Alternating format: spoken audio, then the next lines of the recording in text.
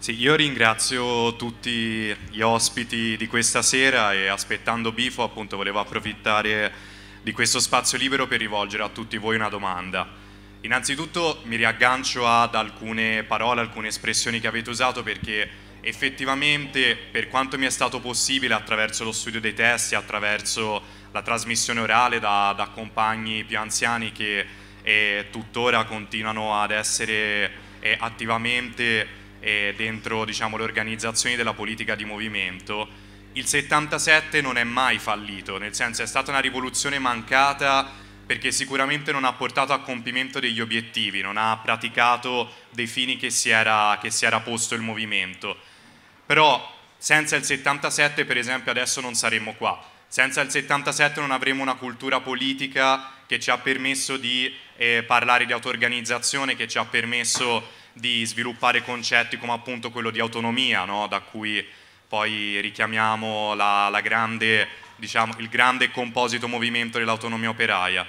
Senza tutta questa eredità politica effettivamente non saremmo riusciti a creare quella che a me piace chiamare una continuità discontinua, quindi una ripresa di, di tutta questa eredità, di tutto questo portato storico, cercando però sempre di cambiarlo, cercando sempre di non fermarsi ad un immobilismo storico, ma invece cercando di riadattare questi concetti vedendo dove sono adeguati, vedendo dove possono fare frizioni, vedendo dove possono effettivamente portare ad un cambiamento diciamo, de dello stato di cose presenti.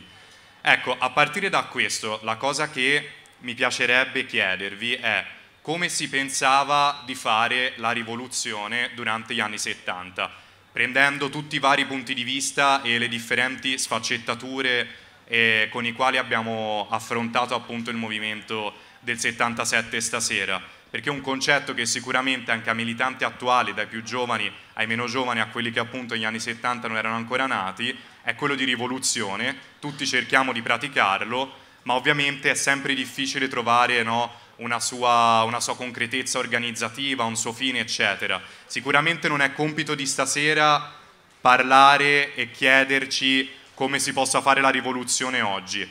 Però magari per chi stava vivendo un, un, periodo in cui si pensava che la rivoluzione fosse qui e ora, avere delle suggestioni potrebbe sicuramente essere utile per comprendere un'epoca, ma anche per diciamo, cercare di eh, riavere delle, delle, indicazioni, degli orientamenti che ci permettano di continuare a, ad andare verso un cambiamento radicale dell'esistente anche oggi. Grazie per la domanda. Ce ne sono altre, le raccogliamo adesso, così poi passiamo. C'è una domanda lì, forse puoi usare... No? Ah no, scusa, avevo visto una mano alzata. Eccola, prego. Ah, pure, puoi usare il radiomicrofono, guarda. Sì. No, funziona.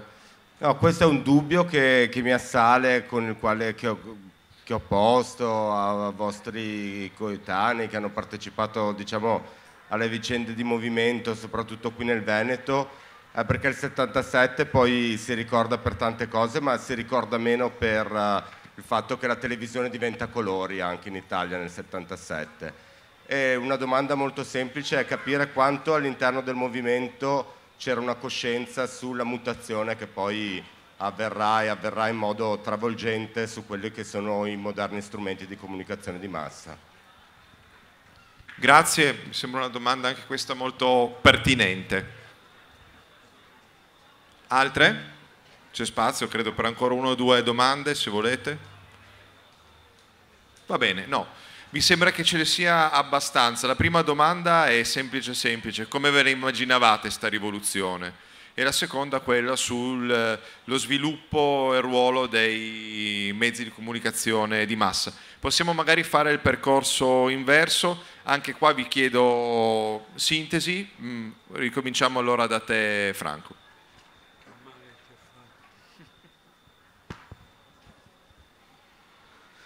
Ma Guardate, c'è sicuramente un problema di definizione dei termini. La parola rivoluzione la usa anche Berlusconi, l'hanno usata i fascisti. È una di quelle parole più abusate che ci siano. Fra l'altro la sua stessa origine è fortemente equivoca. Rivoluzione viene da un trattato di Copernico sulle rivoluzioni degli astri e poiché Copernico sosteneva una tesi che era contraria a quella della Chiesa, il titolo del suo volumetto De Revolutionibus, cioè delle rivoluzioni, ha finito con l'essere preso come un sommovimento sociale che era la cosa più lontana dall'idea di Copernico. Rivoluzione vuol dire ritorno di un oggetto celeste al posto dove era prima. Voi non troverete, se andate a vedere la rivolta dei ciompi, a nessuno verrà in mente di chiamarla rivoluzione, perché prima del 1500, malgrado che ci sono dei forti sommovimenti sociali, ho citato i ciompi, per via dell'italianità diciamo, di questa cosa, malgrado che ci siano tumulti, trasformazioni, la parola rivoluzione non è usata. È significativo che invece nella rivoluzione francese viene usata nel senso attuale come profonda trasformazione dovuta al fatto che noi conosciamo le leggi vere, non quelle della Chiesa le leggi vere. Allora, rivoluzione ha un'inflessione autoritaria in realtà, ha un'influssione come se qualcuno conoscesse la cosa e questa cosa va portata al volgo. Secondo me sarebbe meglio, con tutto il rispetto per i rivoluzionari, usare la parola che usa Polani, trasformazione, trasformazione radicale, trasformazione ultima, quello che volete, ma sfuggire a questo condizionamento storico perché la rivoluzione è l'opera classica della borghesia. Nella storia la rivoluzione, quella francese e quella americana, sono l'espressione classica di un sapere che appartiene a classi colte e che rovesciano il potere costituito in nome della verità e della scienza. Grazie. Allora, modifichiamo. Come la immaginavate questa trasformazione radicale? Ah, Scusate, dovevo dire la cosa più interessante, cioè un modo di lenire l'ambiguità del termine è quello di vedere la rivoluzione nel quotidiano. Nel 77 o anche nel 68, quello che è interessante è che noi già vivevamo come pensavamo di dover vivere, cioè noi già facevamo esperienze di democrazia diretta, esperienza di solidarietà militante con gli operai, pensa alla quantità di picchetti che a Roma abbiamo fatto davanti alla Fatime. E il segreto è, per esempio, nell'università tentavamo di sostituire alla lezione cattedratica il seminario. Io non sto dicendo che tutte queste cose sono giuste, sto solo dicendo che lì c'era il tentativo vero di trasformazione che deve partire, come ci ha anche insegnato il femminismo, da qui e subito, non rimandato nel tempo. Grazie Franco, passo a Cristina, forse puoi usare magari quel microfono lì, è più comodo per dove sei seduta. Beh, ehm, innanzitutto sono d'accordissimo con chi poneva mm, la domanda, cioè in realtà il capitalismo è stato il potere, è stato messo davvero in difficoltà da questo movimento e sono d'accordo col dire che insomma in fondo non è stato sconfitto, non a caso eh, si è dovuti ricorrere ad una serie spaventosa di me- meccanismi per, ristruttura- di, per ristrutturarsi, no? assetti per riuscire a reggere un urto fortissimo, appunto, citavo prima, debito, impoverimento, precarietà, addirittura sussunzione del desiderio, no? il desiderio che viene messo all'interno del lavoro, no? quindi una serie di meccanismi spaventosi. E, e, la rivoluzione, non so, a me sembrava possibile a partire dalla forza che c'era in campo, era davvero enorme. Quando dicevo prima di un consenso, che era un consenso di massa, anche ad un'illegalità diffusa che passava dalle piccole cose, dal prendersi i libri, non so quando andavi in una libreria, che era una cosa che facevano tutti più o meno e quando poi magari non eri tu che li prendevi c'era qualcun altro che lo faceva perché diceva ho visto questo libro e te lo passava. Come dire, e poi per tornare al femminismo era soprattutto eh, è stato soprattutto la possibilità di immaginare una rivoluzione nei rapporti. Questo anche sembrava una cosa assolutamente fattibile, una cosa, come dire, che eh, incarnava poi le discussioni che si facevano, appunto anche quelle discussioni molto accese e, e qualche volta violente, insomma, che hanno anche portato ad uscite d'assemblee da parte delle donne in tante occasioni, ma come dire, ehm, c'era un porre la questione sul terreno appunto della materialità delle vite, eh, avendo appunto eh, la forza di farlo e di discutere profondamente di quelle che erano questioni che ci riguardavano tutti insieme, appunto riguardavano noi, che rendeva, eh, non so, secondo me palpabile una sensazione che io devo dire continuo ad avere, per cui appunto penso che sia vero quello che diceva Franco, no? che forse di sconfitte ce ne saranno altre, ma non sono sconfitte veramente definitive, mai. Grazie, grazie Cristina. Eh, purtuttavia, al di là dell'accezione semantica, nel, nella vulgata, nel, in mezzo a noi, eh, la rivoluzione è stata quella bolscevica, è stata quella delle comuni, quella sandinista, ma quella delle ZLN vogliamo dire, no? Oppure che dobbiamo dire oggi, non, no, non lo dico io, lo dicono ovviamente le forze combattenti della resistenza kurda, è in atto una rivoluzione in tutto il Medio Oriente per dire che il confederalismo democratico è una rivoluzione che cambia lo stato di cose presenti, questo ci hanno insegnato e mi sembra questa che è l'accezione vulgata. Poi ci mancherebbe nel concetto di rivoluzione c'è la trasformazione sociale, è indubbio insomma, no? questo non solo perché ce l'hanno insegnato ma perché l'abbiamo verificato noi stessi. Qual è il nostro pensiero? Beh, io credo che avevamo rotto con la tradizione marxista-leninista, direttamente e nettamente. Non eravamo per la presa del potere. Sapevamo che nell'Occidente al di là dei trascorsi, al di là delle previsioni leniniste che doveva scoppiare rivoluzione innanzitutto in Germania, invece è avvenuta ovviamente in maniera classica dentro una guerra mondiale, che cosa che si può riprodurre ovviamente eccetera, il discorso ovviamente della sottrazione di potere è la crescita dell'uomo nuovo mentre si riappropria ovviamente delle sue condizioni materiali.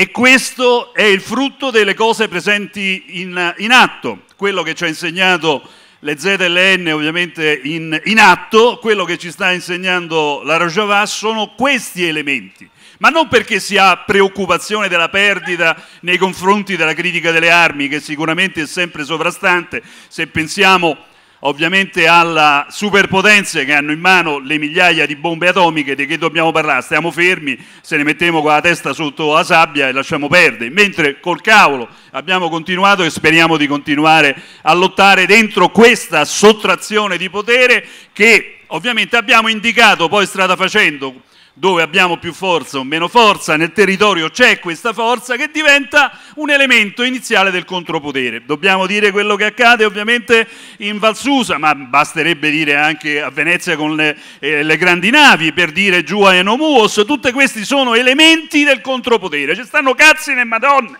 Voglio dire, sono fondamenti, voglio dire, di poter arrivare a sostenere quello che è in, in atto in, nella nostra società e mi allargo per un attimo, perché le condizioni, quello che il compagno diceva, la continuità discontinua, è vero, perché se gli esegeti della sconfitta hanno detto che già eravamo stati sconfitti all'indomani eh, della cacciata di Lama, vedi Rossanda che ha chiamato giovedì nero quello che è stato invece l'apoteosi della rottura con la lesa maestà e quelli che hanno detto che era tutto quanto finito all'indomani della morte di Giorgiana Massi e quelli che hanno detto che era stato un casino Bologna mentre è stato un happening fondamentale, voglio dire al di là di quelli che l'hanno interpretata, ah ma avete cacciato via perché io ero un opportunista, vedi AO, LC e cazzi vari eccetera eccetera, oppure le brigate rosse che hanno detto che lì dentro avevano fondato la loro aspettativa formidabile della presa dello Stato delle, contro le multinazionali, tutte cazzate, supercazzole che non finivano mai. Dentro questa vicenda ovviamente si situa la discontinuità che proprio all'indomani di quello che ha, ci hanno come dire, attribuito come sconfitta gli anni Ottanta che sono stati la dipinzione degli Upis eccetera, lì avvengono le nostre vittorie. Graziano, non te le ricordi, voglio dire, con i movimenti anti-anti, anti-imperialista e anti-nucleari, noi abbiamo vinto per la prima volta nel mondo chiudendo le centrali nucleari, eliminando i missili Cruise e Pershing a Comiso, abbiamo impedito la costruzione della base di Capo Rizzuto e tante altre di queste battaglie ovviamente c'era. Nel 92 scoppia un fermento unico che è la classe operaia che si rivolta, è l'ultimo afflato dopo la sconfitta del 1980, nel 92 si rivolta nelle piazze in tutto quell'autunno, gli tira i pomidori, gli tira i bulloni, gli tira i sassi, non riescono più a parlare, è siderale quello che avviene, non riescono a parlare se non con gli scudi della polizia, Trentin c'era, non c'era l'ama, Beh, Carniti, non c'era ovviamente questi broccoli di adesso, ovviamente eccetera.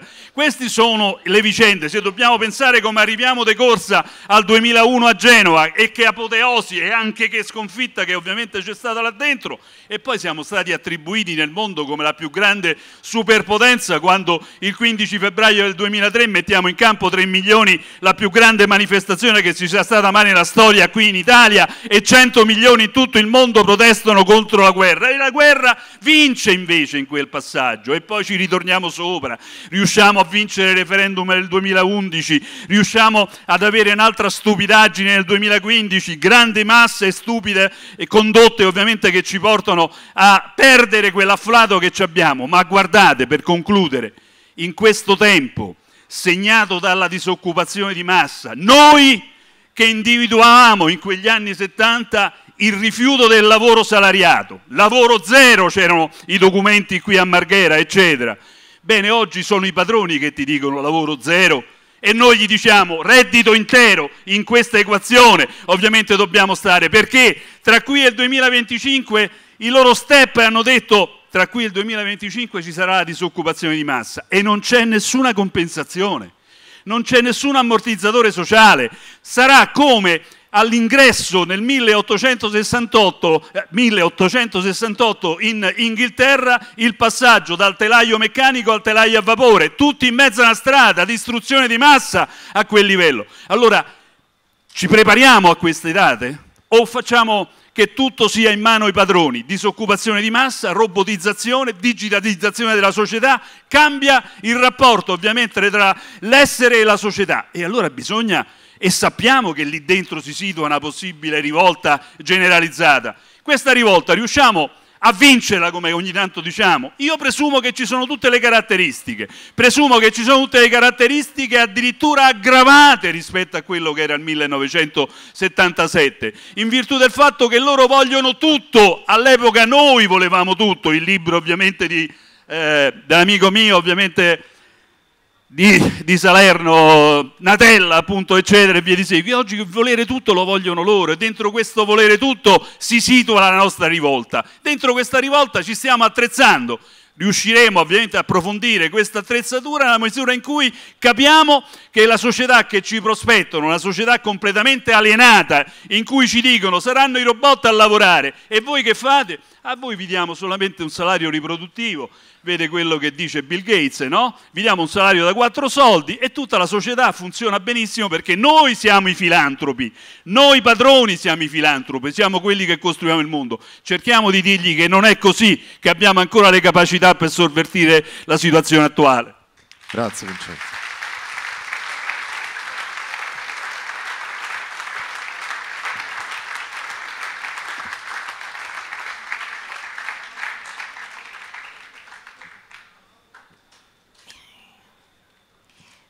Eh, io devo recuperare all'inverso il tempo in cui mi ero un po' allargato. Che volete dire? Delle pillole. Eh, secondo me bene ha fatto Franco a richiamare questa querelle che sembra terminologica, ma è più di passaggio si potrebbe rendere un piccolo omaggio a Blanqui che Revolution des Astres l'aveva scritto in quella trentina d'anni in cui era stato in cella. E è chiaro che mi viene una tentazione. Da dove cominciare? Ma forse da una sospensione quantomeno destituzione delle, dei poteri semantici, di questa inerzia terribile delle parole. Questo non è nominalismo. Stasera in fondo si è andati a un colpo al cuore e va bene, poi per noi significa altro, rivoluzione. Però ogni volta forse dovremmo riuscire a tentare questa sorta di epoche di sospensione dell'inerzia dei poteri eh, semantici costituiti, cominciando, devo dire, da quali?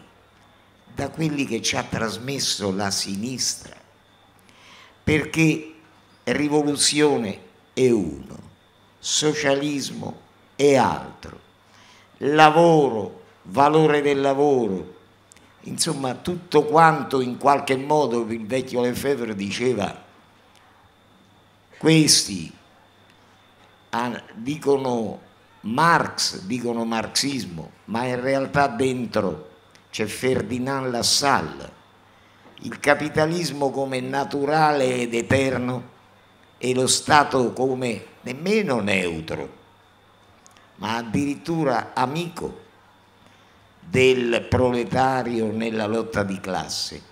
C'è un turbinio di termini costituiti che forse bisognerebbe tentare di strapparsi di dosso. Non che sia fatta così, ma poiché la consistenza oggi delle parole nell'epoca di questa riproduzione spettrale che al tempo stesso è l'effimero dell'effimero dell'effimero, ma anche l'indelebile assoluto, che è questa sorta di, di non so come dire, di oltremondo, di supramondo, che si svolge nel web, online, nei social network. Forse queste parole che diventano con una portata devastante, terribile, di un agente mutagene continuo, potremmo cominciare a in qualche modo strapparcene dal cuore. Faccio un esempio. Io, come tanti, ci avrò un penchant un po' sentimentale, che vi devo dire, mi verrà, Vincenzo, da quando avevo 13 anni, luglio 60, l'internazionale, malgrado tutto, mi dà i brividi. E però perfino la versione originaria comunarda, quella che non è stata purgata, purgata prima dalla socialdemocrazia, che ha tolto una serie di pezzi, Fortini lo sa bene quando ha tentato di riscriverla, prima la socialdemocrazia è arrivata al macellaio Nosc, poi il cominternismo e la loro vulgata hanno tolto delle parti che erano costitutive, no? Quella cross and lair, il rifiuto della guerra inteso nel senso di gorizia, eh, nel senso quindi dell'immediatezza della rivolta, della diserzione, della renitenza, al rischio che ti sparavano nella schiena, e poi l'altra, ni Dieu, ni Maître, ni Cesare, né Dio, né padrone, né Cesare, né tribuno, che era una cosa della comune, un po' anarco-comunista, anche quella hanno tolto. Ma anche se ce la rimettiamo, dentro c'è quest'idea della freccia del progresso, no? Facciamo tabula rasa del passato, come una specie di Atlante che senza punto d'appoggio fa le monde changera de base, fa cambiare di base al mondo. E vedete, Fortini in quella canzone tenta di scrivere, riscrivere, riscrivere, ma anche lì forse bisogna andare ancora più a fondo. Io penso una cosa, Vincenzo, pensiamo che cosa è diventata oggi la, virgolette, ragione geopolitica, cioè una forma talmente delirante. La geopolitica è sempre stata il, ruolo, il luogo del crimine di massa, il più immenso e il più fatto oggetto di negazionismi continui, no? Eh, la frase di Bernard Shaw, nelle settimane prima dello scatenamento di quell'immensa macelleria che è stata la Grande Guerra, con tutto quello che vediamo ancora nei filmati. Io ricordo da ragazzino i Sonzo 17, poi credo che mi dovrebbero tenere in una teca perché sono uno dei pochissimi che ha sentito raccontare la Grande Guerra, la, la trincea, le cose, le baionette e la prigionia da chi? Da suo padre, che era del 93 e l'ha fatta, figurati un po', saremmo quanti. E però voglio dire, in questa cosa c'è, eh, c'è come il fatto che dovremmo andare un po' ancora più in là, perché che la ragione geopolitica fosse il luogo dell'assurdo che alla fine ci aveva ragione perfino il Papa nella semplicità di un'espressione inutile strage, no? Era una strage utilissima dal punto di vista della performatività, dell'utilitarismo, cioè della logica capitalistica, statale, eccetera.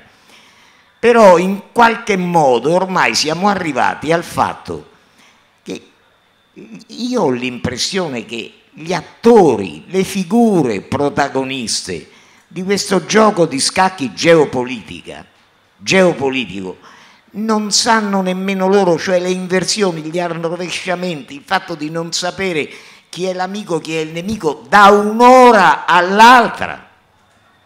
Da un'ora all'altra e, e, e la cosa si presenta come un delirio spettacolare e possiamo noi stare lì a stabilire se per caso bisogna fare sponda con questo, con quello e con quell'altro, che chiunque tu decida sta pure con quello, con quell'altro e con quell'altro. Cioè alcune cose, secondo me, alcune inerzie dei termini sacralizzati, così come per esempio la tentazione in questa sensazione anche di sfacelo, di aggrapparsi a una sorta di riflesso di logica che è quella che chiamiamo cospirazionista, dovremmo proprio serrare i denti e riuscire a farcela, perché in fondo potremmo anche dirla così, senza che questo sia niente di, come suol dirsi con un termine inadeguato, perché poi se uno usasse il termine apocalisse, eh, nel paradigma suo dell'Apocalisse c'è speranza, no? anzi la speranza, così come nel termine catastrofe, forse dovremmo dire disastro, c'è questo sfioramento di una messa in discussione di quello che per le altre specie animali è geneticamente trasmesso. L'idea forza, chiamiamola idea, il riflesso, il principio attivo dell'autoconservazione della specie. sentivo dire prima Franco, quello che le specie animali hanno. E il problema, credo, faccio una domanda, è che questa specie qua, razza umana, Homo sapiens sapiens, in qualche modo è una specie di razza dannata che sta al di sotto di questo e deve passare per la ricchezza di coscienza dell'individuo sociale per arrivare a quello che nelle altre specie animali è una sorta di automatismo. Cioè che quindi anche solo uno scampo, questo non è umanesimo, uno scampo per la razza umana, non per un qualche valore che ce lo detta un filosofo umanista, ma per riarrivare dopo tutto quanto è accaduto di questa specie come è detta, specializzata nella parola e perciò stesso pericolosa, arrivi a questa specie di via cosciente e quindi difficilissima di ciò che nelle api avviene meccanicamente anche se in un modo terribile. Eh. Ti, quindi, mi sembra che hai fatto alcuni eh. punti chiari, ti chiedo di concludere sì. perché sullo scampo certo. della razza umana potremmo no, farne ancora. No, perché dicevo che in questo scampo bisognerebbe, finisco, un sogno pressoché impossibile. E finisco con un salto. Vedete, nel 68 ci sono stati due eventi a Londra, una specie di convegno gigantesco e caotico di cui c'era traccia in un libro chiamato Dialettica della Liberazione nell'edizione Inaudi, in cui c'erano dagli antipsichiatri ai militanti, ai militanti operai. E poi anche quel convegno del 68 a Venezia fu un po' così. Non c'era nessuno che non, che non arrivava lì, nessuno pensava di farsi il suo ghetto separato, c'era proprio una specie di cozzo generalizzato fra tutti e tutti. In fondo, con tutti i limiti d'essere stato un po' il canto del cigno, il convegno di Bologna, dice, io mi sono trovato anche ad essere una volta tanto un po' pompiere in forme indirette rispetto ad alcune forme, ma non è questo il problema. Però anche nel convegno di Bologna, in qualche modo ci si era tutti, ma proprio tutti nel senso più completo. Ecco, chi un giorno potrebbe dire ma vogliamo fare una chiamata a una compresenza che magari succede il bordello definitivo, ma almeno è vitale, in cui, ma che vi dico, una battuta, ci siano da quelli che stavano qua tre anni fa fino agli anarchici di Rovereto o agli anarchici ultra o a quelli delle brigate rosse prima, seconda, terza, cioè chi sono stati i soggetti attivi in cui in fondo non è che c'è stato chi ha rovinato qualc'altro, perché questa è una spiegazione troppo facile. In fondo se ci siamo rovinati e nella misura in cui ci siamo anche rovinati, siamo stati assai complici tutti quanti assieme, un giorno uno, un giorno l'altro, e trovare il modo di una specie di convention cum ventum di questo tipo potrebbe sortire qualche effetto, ma è un sogno. E, e se succedesse, vieni che in caso ricanti l'internazionale e, e magari non succede un disastro.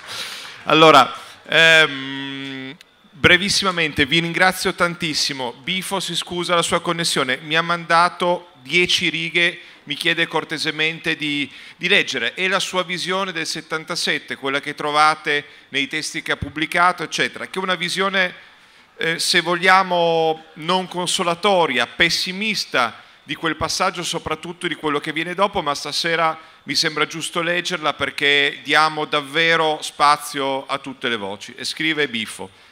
Il 77 è l'anno in cui il secolo esce dall'ordine del 1917, è l'anno in cui si esce dal secolo che credeva nel futuro.